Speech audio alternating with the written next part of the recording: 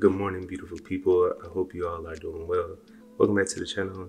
And for today's video, we have a very interesting topic to discuss.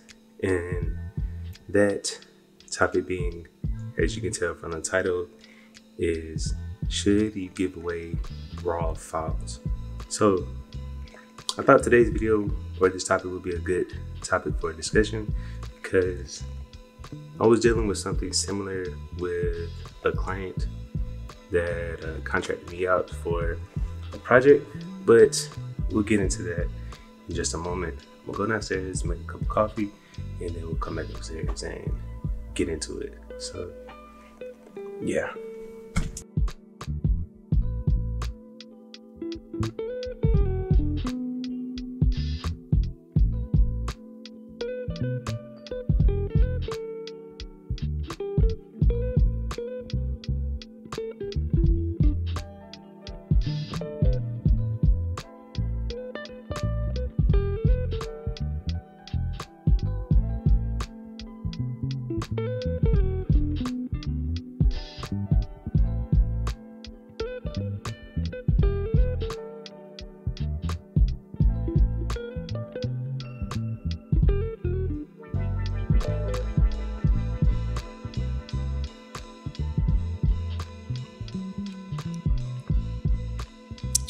Yeah, that's it. So that was my whole coffee uh, montage or intro or time lapse or whatever.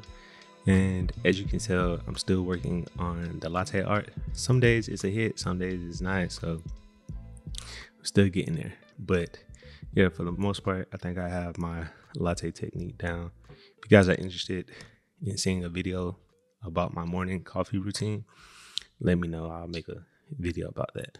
Might just do one anyway.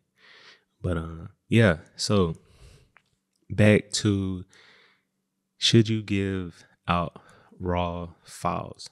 So all right, so the discussion about should you give out raw files is a very iffy or tricky situation or tricky topic. And I say that because there are times where giving out raw files is kind of expected. And then there are situations where 100% hard no.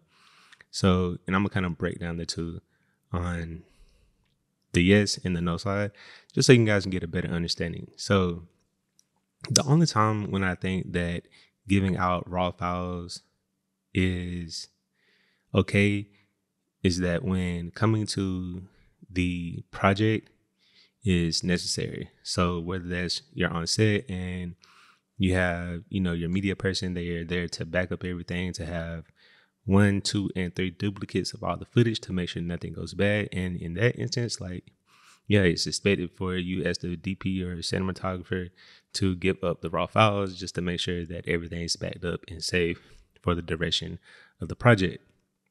Now, like that's kind of expected. And then there are situations where you as a contractor or you as a freelancer where you'll have a client who asks like, hey, can I get the raw files? And typically their answer will be, so I'm able to use the footage later. Now, in that instance, it is a complete no.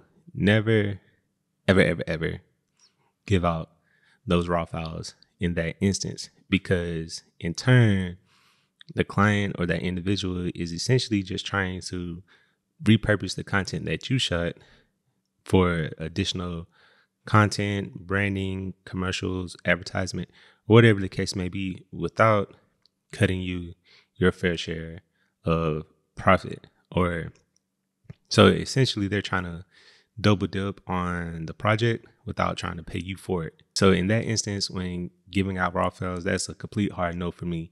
When in turn, the client can, you know, easily just pay you for an additional edit, or you know, whether there's five months down the line or upfront, they're telling you like, hey, I want to be able to use this content for X, Y, and Z. Is that possible that you know you make an edit for this and this and that?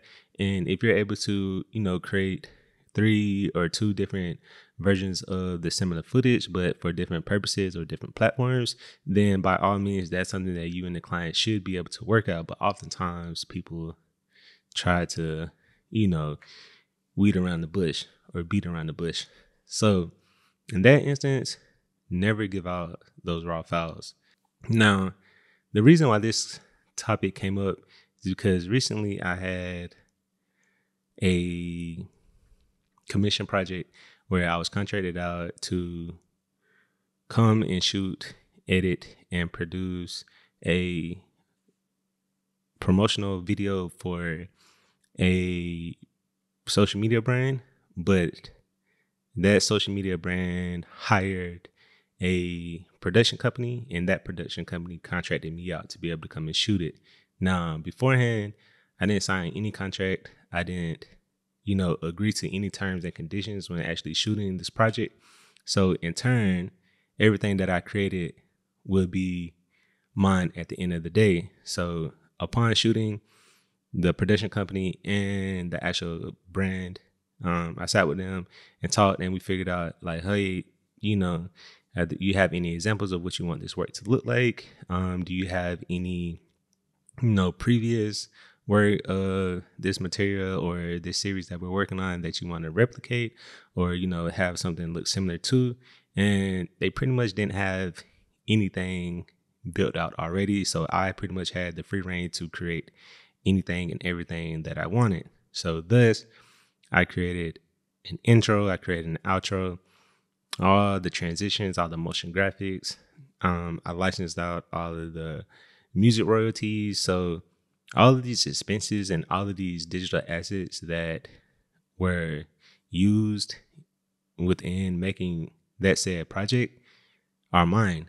Like I own those. I pay a subscription for these services. I either bought them outright from a third party. So the client thus asked me if I could, and when I say client, I'm talking about the production company, asked me if I could in turn give them my whole project timeline so that they are able to reproduce or, you know, copy and paste this edit that I had with future projects down the line.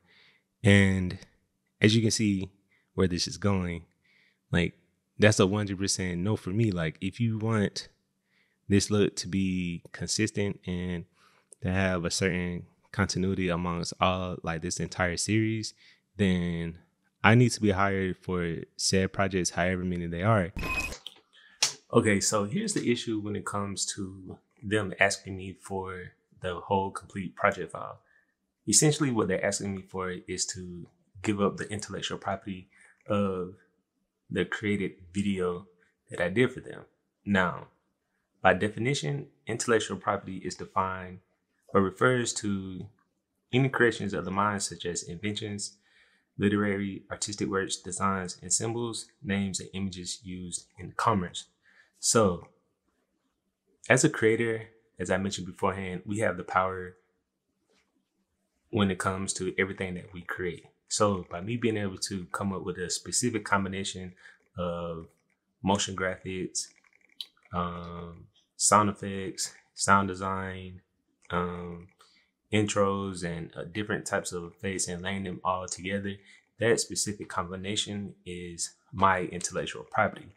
Now, because that effect or that style was unique and the intro that I created, it's also unique to me. So thus, in order for you to be able to use that or repurpose it, you'll have to come up with some type of cost or fee. So yeah, at the end of the day, remember guys to one always protect yourself and your business and you and your business should always come first and it's not you being you know a bad freelancer or a bad businesswoman or businessman but more so it's just you doing good business to protect yourself similar to you if you're putting a contract in place to protect yourself and then to protect the client is um, on their end to make sure that you both get what was agreed upon. So yeah, I hope this video was helpful for all of you out there, if it was, make sure to hit that like button. And if you aren't already, please consider subscribing to the channel to be notified for future videos, whether it's videos such as this, vlogs, tutorials, documentaries, shorts, or whatever the case may be. And yeah, I see you all in the next one. Peace.